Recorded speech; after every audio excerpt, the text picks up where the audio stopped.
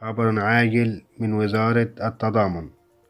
التضامن تعلن عن قرار وتوجيه في غاية الأهمية يخص كافة أصحاب المعاشات.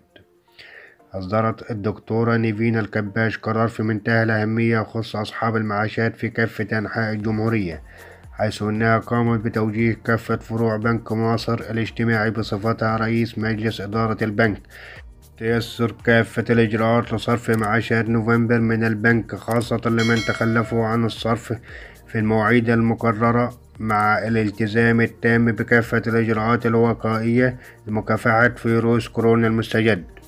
طلبت الكباج أيضا بتغذية ماكينات الصراف الآلي بالأموال بشكل مستمر حتى يتسنى لأصحاب المعاشات من صرف أموالها عبر هذه المكانات المنتشرة في جميع أنحاء جمهورية مصر العربية. ومن جانبه أكد المهندس هاني ضاحي نقيب المهندسين أنه تم زيادة المعاشات بنسبة 15% وذلك بعد سد العجز الذي كان موجودا في صندوق المعاشات مؤكدا أنه الصندوق الوحيد الذي يصرف على كافة الخدمات المقدمة. وأضاف ضاحي خلال لقاء مفتوح مع أعضاء الجمعية العمومية بحضور الدكتور هشام سعودي رئيس نقابة المهندسين بالإسكندرية وأعضاء مجلس النقابة أن من متوقع زيادة معاشات المهندسين إلى 2 مليار جنيه بنهاية 2022 وأوضح نقيب المهندسين أنه خلال عام 2020 قامت نقابة المهندسين بصرف مليار وستمائة وخمسين ألف جنيه للمعاشات.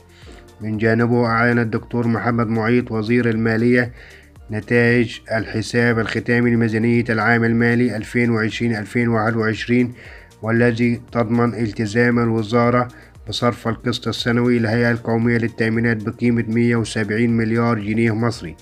وأشارت معيط في بيانه أنه رغم انتشار أزمة فيروس كورونا في مصر والعالم إلا أن الدولة قامت بتوفير السيولة المالية اللازمة لخدمة أصحاب المعاشات والمستحقين عنهم أمن عليهم والوفاء بكافة الالتزامات نوعهم.